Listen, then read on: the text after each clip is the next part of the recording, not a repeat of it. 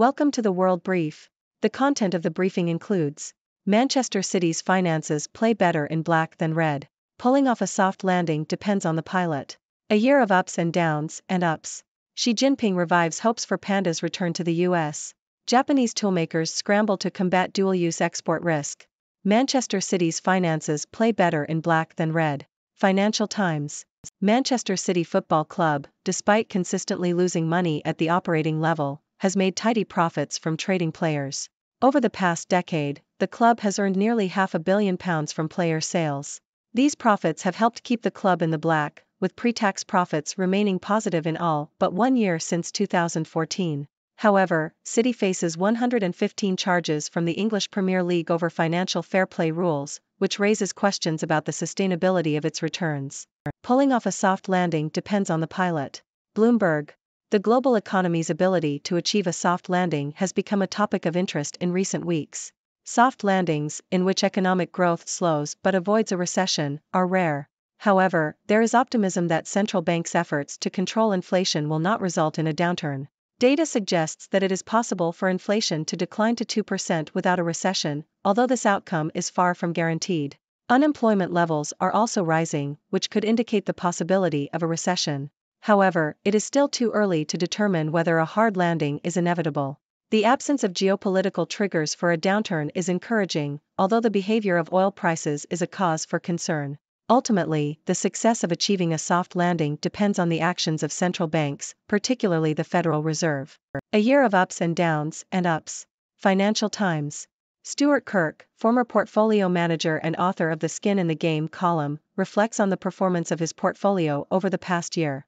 While his portfolio has achieved a respectable return of 6.2% over the past 12 months, Kirk is disappointed that he could have achieved almost the same return by putting his money in a deposit account. He is also frustrated that the MSCI World Index outperformed his portfolio, and that US equities have performed well since he sold his holdings in September.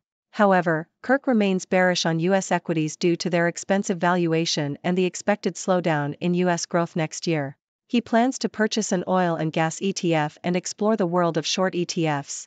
Kirk also reflects on lessons learned, including the importance of fully understanding investment products and considering the benefits of a self managed pension. Despite his criticisms, Kirk acknowledges that he has still achieved a significant gain in his portfolio. Xi Jinping revives hopes for Panda's return to the US. Wall Street Journal. Chinese leader Xi Jinping has suggested that China will send new pandas to the US, in what may be a minor gesture in an otherwise bitter rivalry, but symbolic of attempts by both governments to find areas to cooperate. Pandas have long occupied a special place in US China diplomacy, with the steady repatriation to China of pandas from US zoos in recent years appearing as clear a marker of faltering bilateral relations as the black and white fur on the animals' backs. The last remaining pandas in the US reside in Atlanta Zoo but are scheduled to be sent to China next year. Three others departed just last week from Washington's National Zoo, which has hosted pandas almost continuously since 1972. At a meeting, Xi said China is ready to continue cooperation with the U.S. on panda conservation and specifically named the zoos in Washington and San Diego. This is seen as a token of potential cooperation, with warm and fuzzy remarks by China's leader about pandas as envoys of friendship between the Chinese and American peoples reviving expectations that Beijing would dispatch new sets of the popular bamboo munching animals to the US. Japanese toolmakers scramble to combat dual use export risk. Nikkei Asia. Japanese machine tool suppliers such as Fanuc and DMG Mori are taking steps to prevent their advanced technology from being used for military purposes. This follows an investigation by Nikkei which found that China's main research institution for developing nuclear weapons had used a state-of-the-art machine tool manufactured by a German subsidiary of DMG Mori. DMG Mori has installed sensors in its products to detect improper relocations and can remotely shut down devices if necessary. However, the German subsidiary did not implement this tracking system until 2021. What's left when a long war suddenly ends? New York Times. Azerbaijan's President Aliyev celebrated his troops' capture of Nagorno-Karabakh with a victory parade in Stepanakert, a city that was populated by ethnic Armenians until they fled in fear. Azerbaijani forces captured the city in September, extending their gains made in 2020 when they took over most of the territory that Armenia had seized in the 1990s. More than 100,000 of Nagorno-Karabakh's residents have fled since September, and Azerbaijanis have been moving in to assume control over homes and communities that their families were expelled from decades ago. Although the guns have fallen silent, the triumphalism of the Azerbaijanis and provocative statements made by Aliyev, who has irredentist claims against Armenia, are unlikely to calm long-running ethnic tensions. The conflict over Nagorno-Karabakh, a strategic region in the Caucasus, has caused the deaths of tens of thousands of soldiers and civilians over the years. Many fear that the wounds of the conflict will fester, leading to further violence in the future. Xi's warm words jar with reality for foreign companies in China. Bloomberg. Chinese President Xi Jinping has promised to take more heartwarming measures to attract foreign businesses to the country, despite the fact that many companies have been facing increasing difficulties in China. The Chinese government has struggled to regain its footing in the wake of the pandemic, and the country's business climate has notably deteriorated in recent years. Strict COVID restrictions, investigations into foreign companies, and increased compliance risks due to sanctions from the US and Europe have all contributed to a decline in foreign direct investment. In addition, a recent survey by the American Chamber of Commerce in Shanghai found that respondents were the gloomiest they'd been about the business outlook in decades. Many foreign firms are grappling with a range of challenges, including unpredictable regulation, concerns over employee safety, and curbs on transferring data overseas. As a result, some of the world's largest companies have transferred out key employees and hived off local operations. The challenges have also led some US brands to look to move manufacturing out of China. Who wants to catch Jack Ma's falling knife? Bloomberg.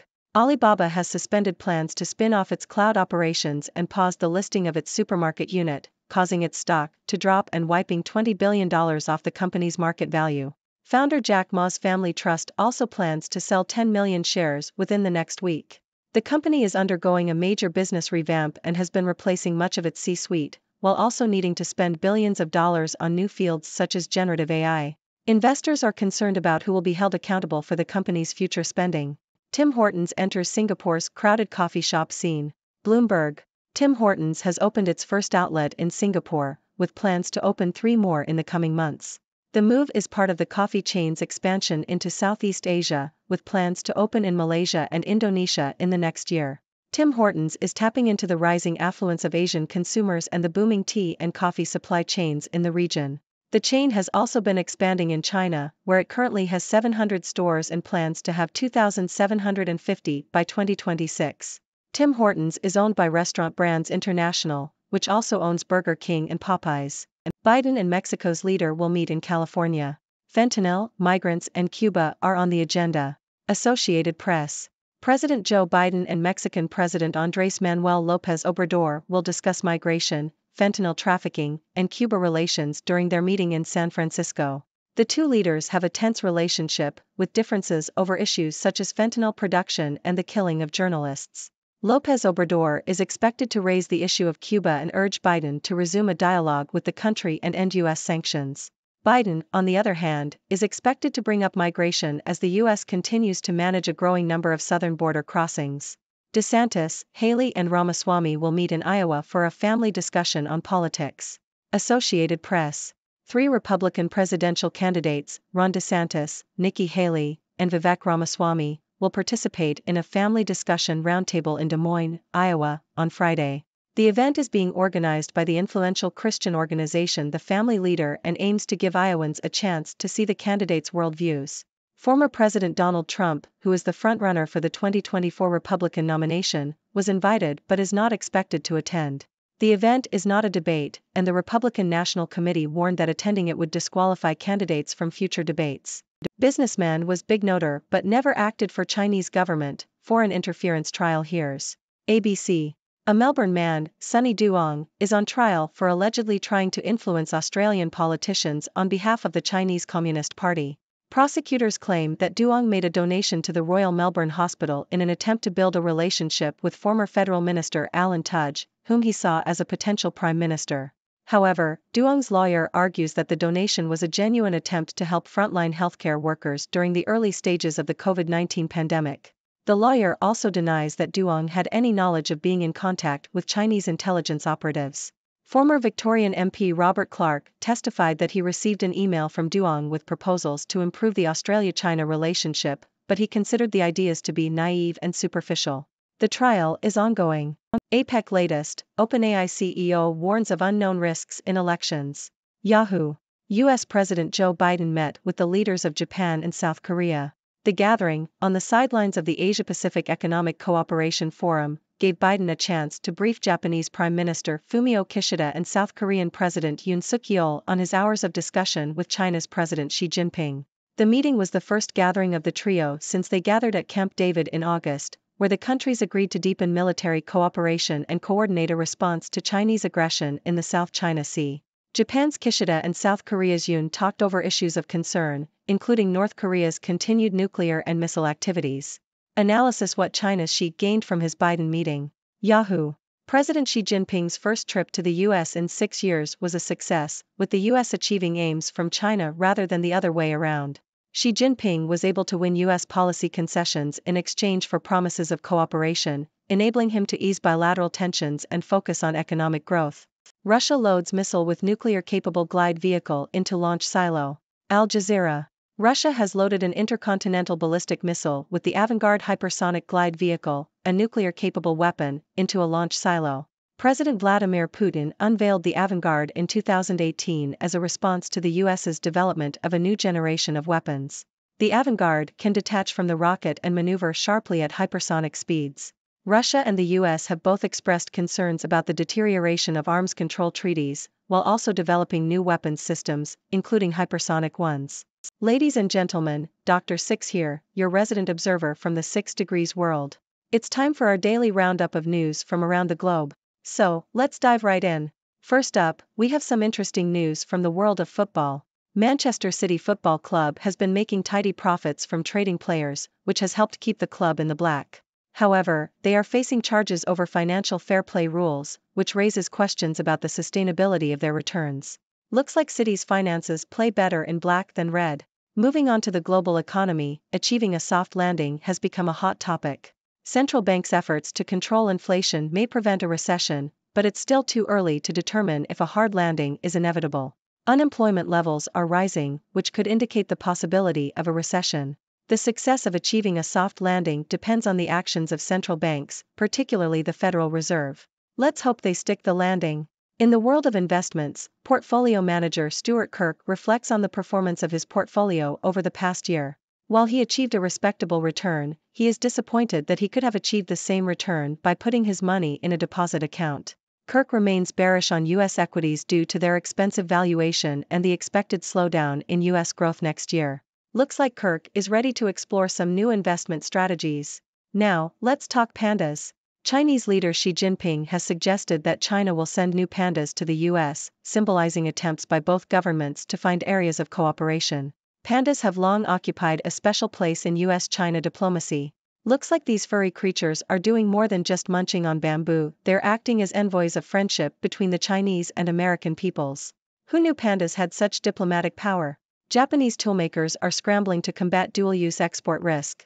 After an investigation found that China's main research institution for developing nuclear weapons had used advanced technology from a German subsidiary, Japanese machine tool suppliers are taking steps to prevent their technology from being used for military purposes.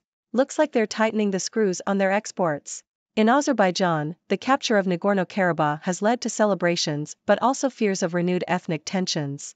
The conflict has caused the deaths of tens of thousands of soldiers and civilians over the years, and many fear that the wounds of the conflict will fester, leading to further violence in the future. Let's hope for a peaceful resolution to these long running tensions. In China, President Xi Jinping promises to take more heartwarming measures to attract foreign businesses to the country, despite the fact that many companies have been facing increasing difficulties. The business climate in China has notably deteriorated in recent years, with strict COVID restrictions, investigations into foreign companies, and increased compliance risks. Looks like Xi Jinping is trying to warm things up, but will foreign businesses feel the heat? Alibaba has suspended plans to spin off its cloud operations and paused the listing of its supermarket unit, causing its stock to drop. Investors are concerned about who will be held accountable for the company's future spending. Looks like Alibaba is experiencing a bumpy ride, but let's hope they can navigate through it. Tim Hortons is expanding its presence in Southeast Asia, opening its first outlet in Singapore. The coffee chain is tapping into the rising affluence of Asian consumers and the booming tea and coffee supply chains in the region. Looks like Tim Hortons is brewing up some expansion plans. President Joe Biden and Mexican President Andres Manuel Lopez Obrador are set to discuss migration, fentanyl trafficking, and Cuba relations during their meeting. The two leaders have a tense relationship, but this meeting provides an opportunity for dialogue. Let's hope they can find common ground. And finally, three Republican presidential candidates will participate in a family discussion roundtable in Iowa. The event aims to give Iowans a chance to see the candidates' worldviews. Looks like the race for the 2024 Republican nomination is heating up, but will any of these candidates emerge as the frontrunner? That's all for today's news roundup, folks. Remember, the world is a fascinating place, full of ups and downs, twists and turns. Stay curious, stay informed, and keep those questions coming. What are your thoughts on today's news? Thank you for tuning in. The content above showcases the latest briefing reports and analytical synopses, thoughtfully curated by the 6Do team. These insights stem from a wide array of reputable media outlets, think tanks, government sources, and specialized experts worldwide. We encourage you to explore these sources for a comprehensive perspective. Keep in mind that while the content may not always align with the official standpoint of 6Do Brief, it's not meant to be taken as absolute directives for decision making. Comprising seasoned media professionals, learned scholars, and accomplished scientists, the 6Do team embodies a trailblazing, fully independent media entity. To customize 6Do Brief to meet your professional needs, you have the option to subscribe to a diverse array of briefings on our website, 6dobrief.com. Regardless of your location, you can conveniently receive 6Do Brief via email.